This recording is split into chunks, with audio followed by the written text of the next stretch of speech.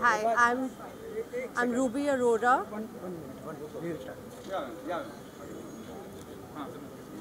No, please this side.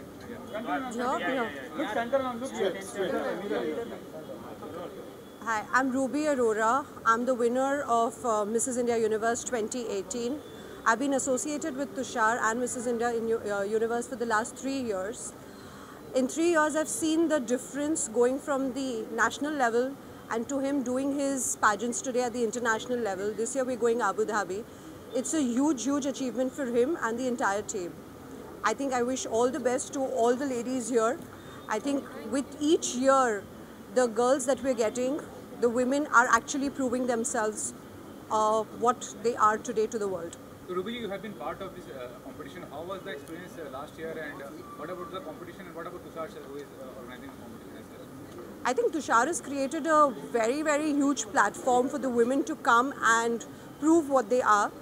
And I think he has the best team. I've not seen any other pageant in India going international the way he's doing it. He's giving all the girls an international platform ahead. So after they win Mrs. India Universe here, they get a chance to go ahead to Mrs. Universe, which is again a big step for them. So how your life had changed since you participated and you got the last year?